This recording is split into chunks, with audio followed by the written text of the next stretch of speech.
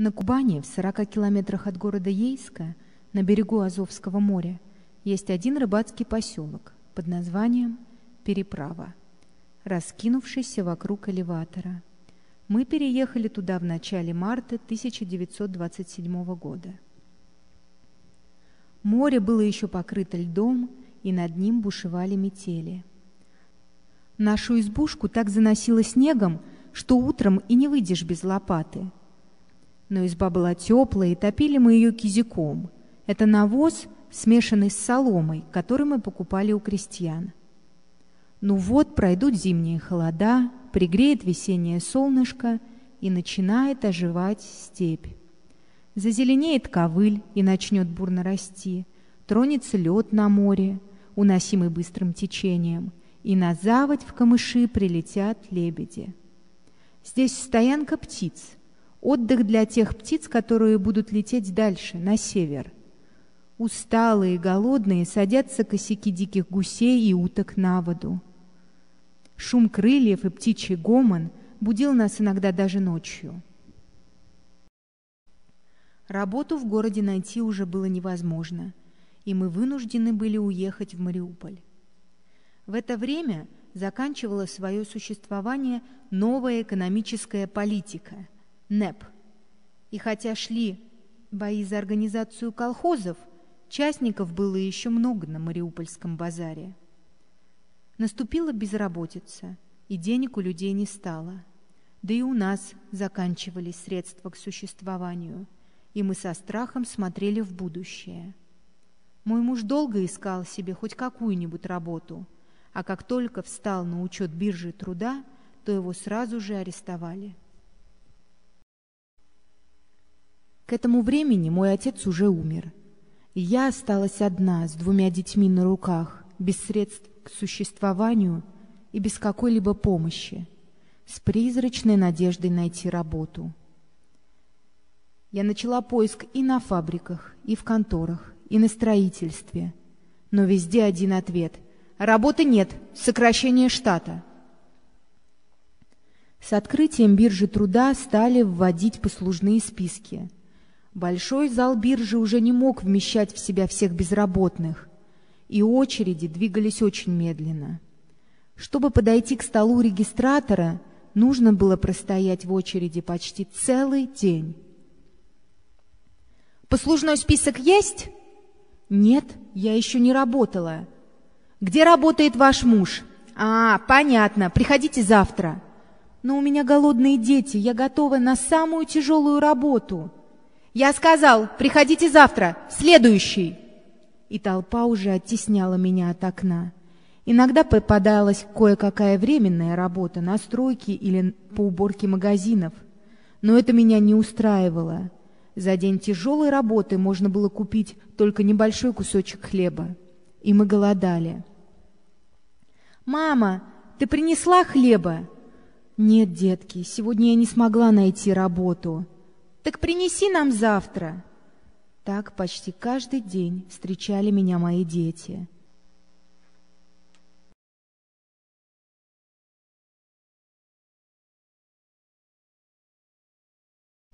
После шестилетнего заключения вернулся мой муж.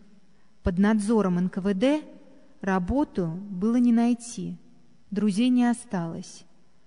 Одни из них арестованы, другие отвернулись.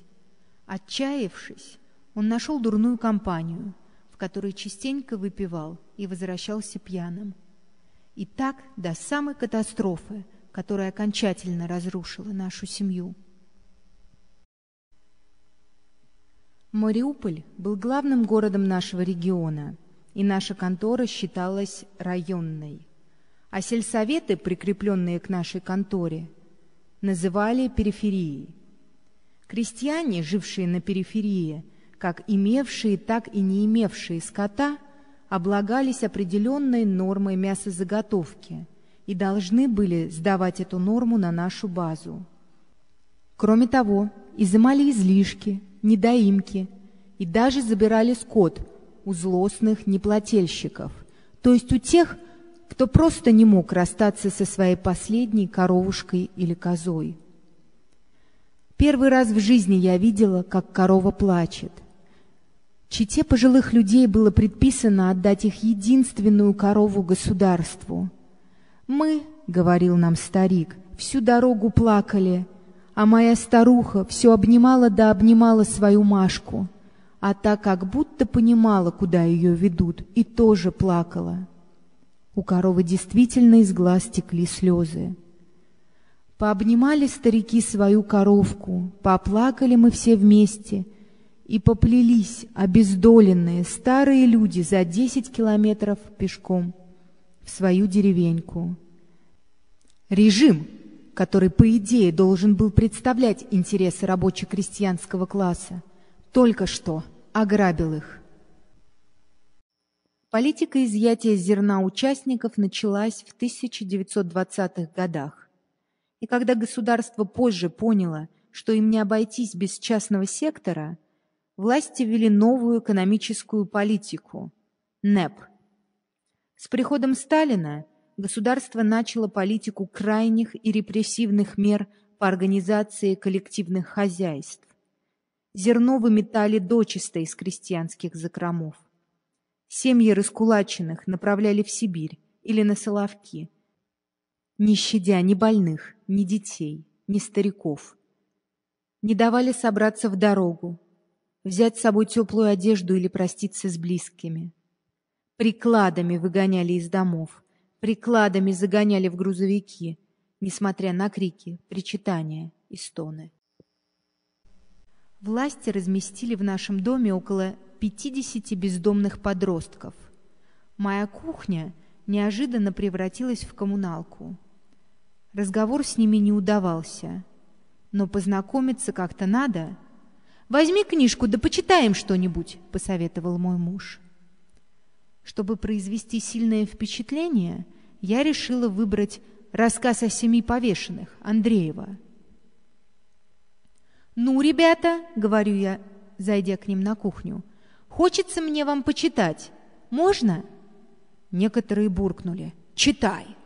Другие же враждебно молчали, с явным намерением сказать что-либо обидное.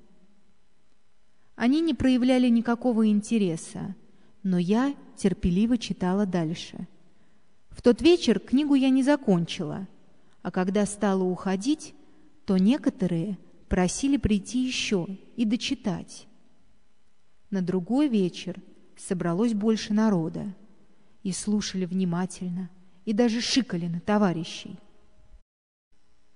Пронеслась и эта буря. Жизнь шла стремительно — Прежде, чем у тебя хватало времени подумать о завтрашнем дне, заботы сегодняшнего поглощали тебя. Аресты продолжались. Вот забрали врагов народа греков и украинцев, потом инженеров, начальников цехов, директоров и их заместителей, работников банков и многих других. Забрали и моего мужа. Встретимся на небесах. Прости и прощай.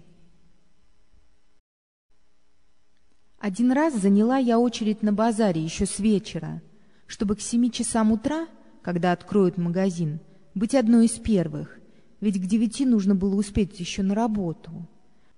Когда в очереди выдали номерки, я, предупредив впереди стоящих и тех, кто за мной, пошла домой проведать своих больных детей. У многих дома были больные дети, требовавшие ухода. Было около четырех часов утра, холодно, морозно и страшно.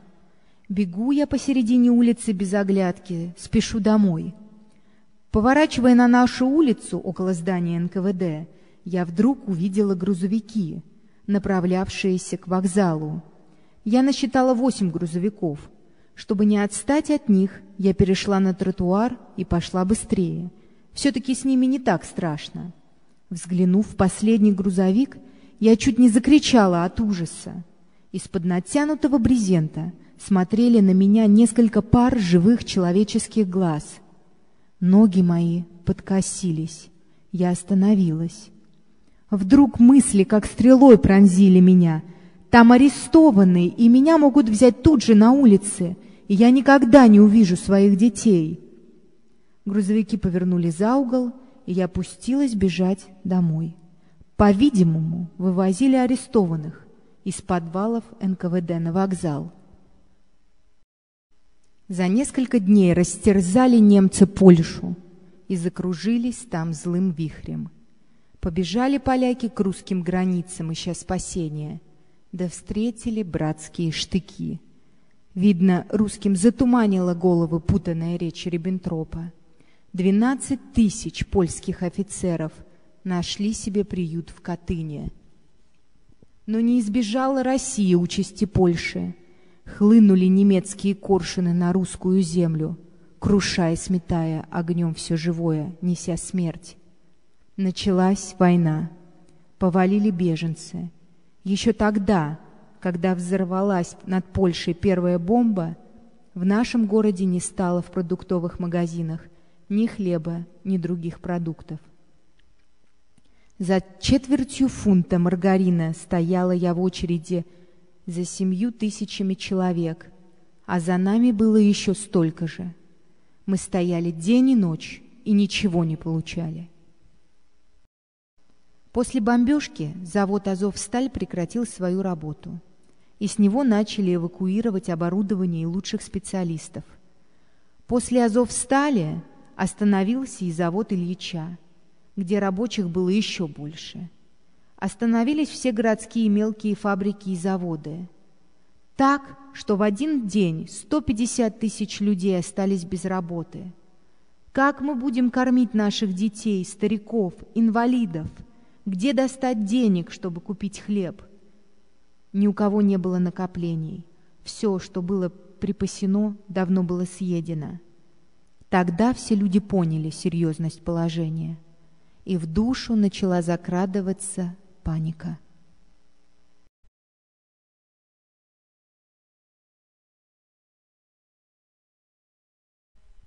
Наш город скоро был окружен немцами. Началось скорое отступление. По нашей улице пробежало около двадцати солдат, и сразу все стихло. В городском саду кто-то стрельнул из пушки, но после двух выстрелов стрельба прекратилась. И через некоторое время по улицам пошли пешеходы. Мои дети подбежали ко мне. «Мама, вон девочки идут в магазин, можно и нам?» «Идите, да только сразу же и назад». Только зашли за угол и назад. «Мама, там немец на велосипеде!» Это был мотоцикл. Значит, немцы взяли город. В город прибывали солдаты с очень тяжелыми ранениями. Они даже были не способны двигаться – к моим дочерям примкнули еще женщины, организовали кружок помощи русским раненым и уже открыто собирали для них все, чем люди в городе могли поделиться. А раненых оказались тысячи. Когда фронт отошел вглубь страны, всех военнопленных распустили по домам. Местные вернулись домой, а те, кто был издалека, начали устраиваться в колхозы или в мелкие частные хозяйства – которые при немцах еще некоторое время существовали. Неожиданно объявили, чтобы все военнопленные явились для регистрации. Явившихся сажали, и появился в Мариуполе первый концлагерь. До сих пор евреям разрешали ходить свободно, хотя власти и следили за ними. Как-то постучался к нам старик Горлин и сказал – что немцы велели всем евреям собраться с вещами в дорогу. А вечером того же дня вели евреев по улице в военные казармы. Когда мы выбежали на улицу, то первая колонна уже миновала наш двор. Впереди шли раввины и врачи с семействами, вся еврейская интеллигенция. Старых вели под руки, больных несли на носилках. А дети шли просто с узелочками за спиной. Все шли очень медленно. Когда прошла последняя колонна евреев, и конвоиры уже скрылись за углом, мы увидели молодую женщину с двумя детьми, отчаянно пытавшуюся догнать их. Один ребенок, грудной, сидел у матери на руках, а девочка лет трех держалась за руку матери и тащила за собой большую куклу, которая мешала им быстрее двигаться поэтому они отстали.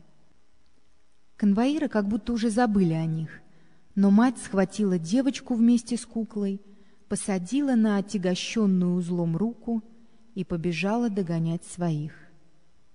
Было трудно поверить, что они расстреляют семь с половиной тысяч человек без какой-либо причины.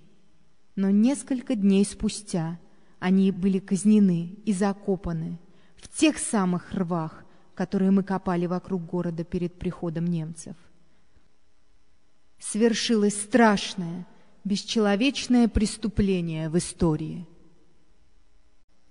Несколько людей умерло в нашем доме. Евреи были убиты.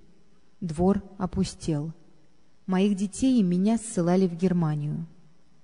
На Мариупольском вокзале мы сказали «прощай» всему, что было нам дорого, и мы попрощались навсегда. Набили немцы нами вагоны до отказа и закрыли на замок. Один человек в тюрьме был немецкий солдат, дезертир. Он рассказал нам о Сталинграде и о том, что немцы разбиты на всех фронтах, что армии разгромлены и отступают. Он сказал, что пол Германии уже в американских руках. Мы слушали с изумлением, не веря своим ушам, не произнося ни звука, ловя каждое слово. В течение нашего четырехлетнего заточения мы не знали ничего о том, что происходит на фронте. Мы стояли часами в коридорах тюрьмы с другими заключенными — и нам никто не приказывал вернуться в свои камеры.